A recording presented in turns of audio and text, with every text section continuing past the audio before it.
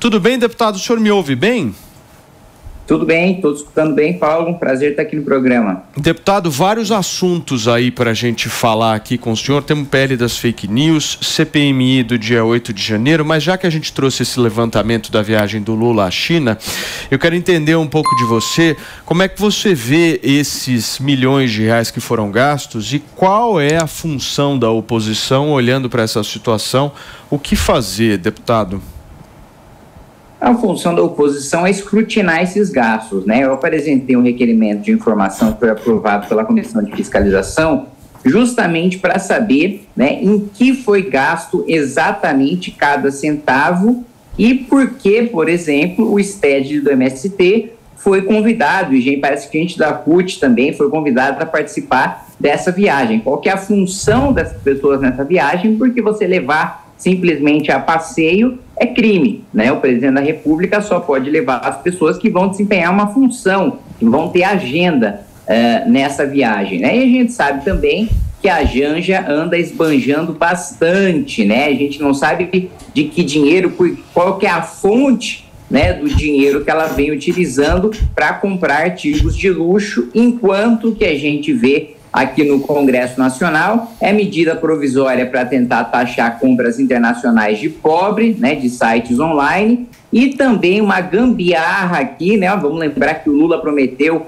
uma isenção aí de 5 mil reais no imposto de renda e no final das contas ele está entregando uma isenção só de 1.900. Ele está falando que a isenção é de 2.500 mas ele está contando com uma dedução de 20% que já existe hoje, ou seja, não está criando nada de novo. A isenção na prática é em 1.900, enquanto ele mantém esses gastos de luxo e a gente tem a informação também de que uh, nessa viagem que ele passou em outros países, ele também se hospedou em hotel Sete então, estrelas. A gente vai falar sobre isso. Sete estrelas, né? A gente vai falar sobre isso. Deixa eu só receber quem nos acompanha pelo rádio. Agora, você que chegou agora, são 10 horas e 35 minutos. A gente está batendo um papo aqui com o deputado federal Kim Kataguiri sobre vários assuntos aí que estão rolando na política nacional nesta semana. Mas, Kim, você sabe que eu. É, me baseio muito no que um pensador brasileiro fala. É um cara que eu sigo, chama-se Felipe Neto. E segundo ele, o, os hotéis, de alguma forma, estão muito caros, né? E 5 mil dólares, de alguma forma, numa diária de hotel, é algo que não necessariamente quer dizer que você está num hotel de luxo, né, querido? Eu quero entender um pouco como é que você viu essas falas do Felipe Neto, Felipe Neto dando aquela, como é que a gente pode chamar? Passada de pano gostosa em relação a esses gastos. Olha, eu acho que o Felipe Neto está desesperado para assumir uh, o ministério ali da SECOM, né? porque é impressionante, ao mesmo tempo em que ele passa pano para tudo que acontece no governo Lula, ele também critica a comunicação do governo, né? o que para mim dá a entender ele está querendo espaço no governo, que ele está querendo assumir o comando da comunicação do governo, porque ele faz mais defesa do governo do que a própria SECOM. Né? É um negócio realmente assustador, né? E eu recentemente também apresentei um requerimento de informação, também aprovado pela Comissão de Fiscalização, para saber uh, quais influenciadores ou quais agências o governo contratou para fazer propaganda em rede social, para saber né, se quem está defendendo o governo em rede social está recebendo alguma coisa para isso. Né? A gente precisa ter transparência no gasto público, a gente não sabe quais são as agências que o governo contratou, com quem que essas agências têm contrato em relação a, a, a, a influenciadores, e isso é uma coisa também que precisa ter transparência. Agora, uma grande hipocrisia, né? O Felipe Neto é um sujeito que é uma hipocrisia ambulante. Ele cresceu na internet falando que é um absurdo votar em bandido, né? Falando sobre o Partido dos Trabalhadores, né? Que quem votava no PT era imbecil e por aí vai. Mudou completamente de discurso. Em relação também, né? Eu acho que a gente deve falar sobre isso um pouco mais para frente mas o PL das fake news, ele era absolutamente contra, de repente o Lula assumiu o poder, ele se tornou a favor. Então é um sujeito assim que na minha avaliação está desesperado para cavar um cargo no governo. Muito bem.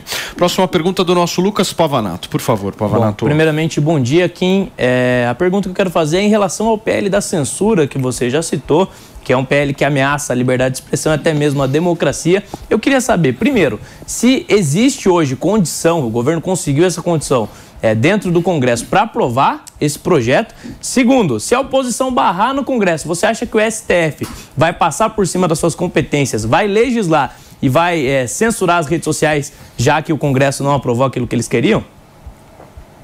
Eu acho que nós aqui dentro do parlamento conseguimos ganhar tempo para a sociedade é, pressionar os parlamentares que estavam em cima do muro e se posicionarem contra o PL. Né? Eu não vejo condições do PL do Orlando Silva ser aprovado no Congresso Nacional. Eu tenho defendido o PL do Mendonça Filho justamente porque eu sei que se a gente não aprovar nada, o Supremo ele vai atropelar o Congresso Nacional e isso já tem afirmação aberta do Alexandre de Moraes, do ministro Dias Toffoli, que inclusive já pautou né, a ação direta de inconstitucionalidade sobre dois artigos do Marco Civil da Internet, que ele disse que no, no julgamento dessa ação eles podem regulamentar né, coisas que nós estamos, estamos debatendo no Congresso Nacional. A mesma coisa disse o ministro Flávio Dino. Flávio Dino praticamente disse que o Congresso Nacional não serve para nada. Ele disse, olha, se o Congresso não decidir, o Poder Executivo ele vai decidir no lugar do Congresso, o Judiciário vai decidir no lugar do Congresso,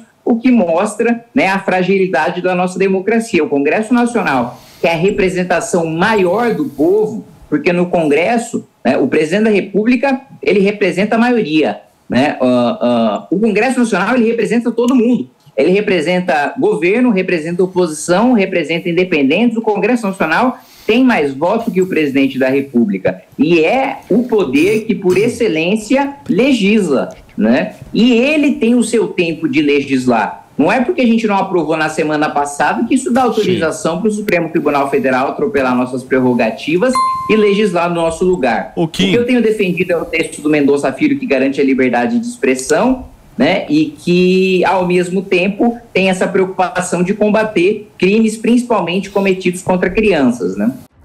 O capeta já ofereceu seus serviços para você em algum momento? o sentimento de culpa de estar tá gerando um desgaste, porque quem escolheu disputar a eleição, quem escolheu seguir a carreira política fui eu, né? Não foi minha família. Você tem orgulho de ser brasileiro, Kim? Mesmo com esses defeitos? Você acha que você merecia mais reconhecimento pelo seu trabalho? Primeiro, uma sensação muito grande de injustiça, né? Das pessoas me colocarem como colocarem o monarca como nazistas e não tinha nem, absolutamente ninguém defendendo o nazismo. Kim, qual é hoje o seu maior medo? Eu acho que era muito jovem para é, perder o pai. para perder o pai.